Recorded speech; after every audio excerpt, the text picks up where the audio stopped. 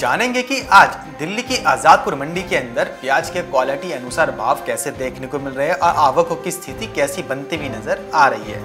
सबसे पहले नज़र डालेंगे हम प्याज की आवकों के ऊपर। तो आपको बता दें कि दिल्ली की आज़ादपुर मंडी में आज प्याज की जो आवकें हैं वो 16,000 से लेकर 17,000 कट्टों की देखने को मिली है। इसी के साथ बात करें यहाँ से अगर सुपर क्वालिटी प्याज की तो इसका दाम 2500 से लेकर सत्ताईस सौ प्रति क्विंटल देखने को मिला है। मीडियम क्वालिटी की प्याज 1800 से लेकर बाईस सौ प्रति क्विंटल की दर से बिकती हुई नज़र आई है और गोल्टअप क्वालिटी की प्याज 1500 से लेकर अठारह सौ तक बिकी है।